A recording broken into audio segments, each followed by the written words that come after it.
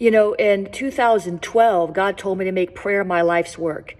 And right now, I want to pray for you. So would you leave your prayer request in the comments and let me know how I can intercede? I'm going to pray over you. I'm going to pray for you. You might not hear me, but know that I am. I'm serious about it. And I felt today the burden of my heart is that some of you out there are struggling. You're dealing with addictions, broken homes, uh, lost jobs. Let me know how I can pray for you. I'm serious about it. I'm going into the prayer closet. I want to lift up your name and your need. So leave a comment in the box. Please share this with somebody who may also need prayer so they can comment, so they can share their need and their name. God bless you.